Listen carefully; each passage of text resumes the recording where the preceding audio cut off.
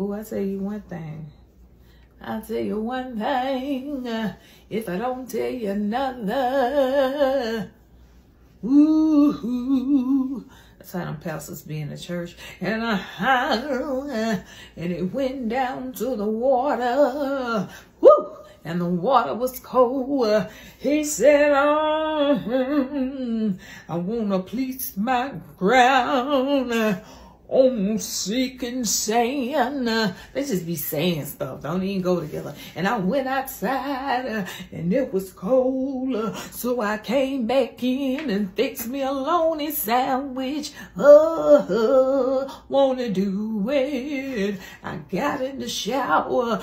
The shower water rolled down my back. I said, Jesus, won't you part the Red Sea again? You sit down. You doing too much. They ain't got nothing to do with what we talking about today. You just making up stuff. sit down. I tell the pastor in a minute, sit down. What are you talking about? Explain it to me.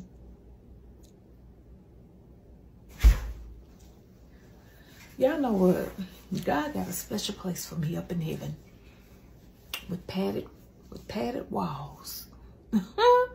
nice little jacket on, you know what I'm saying? With, hey, I got six sleeves. You know what I'm saying? So I might be, you know, get kind of cold or I need to cradle myself and give myself a hug. And, and, you know, it's very fashionable because it has all the cute little bells and buckles on them. Who ain't gonna be busting, baby? Who ain't gonna be busting in the kingdom? Me.